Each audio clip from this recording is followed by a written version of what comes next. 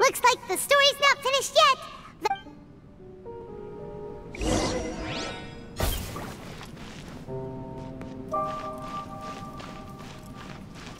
The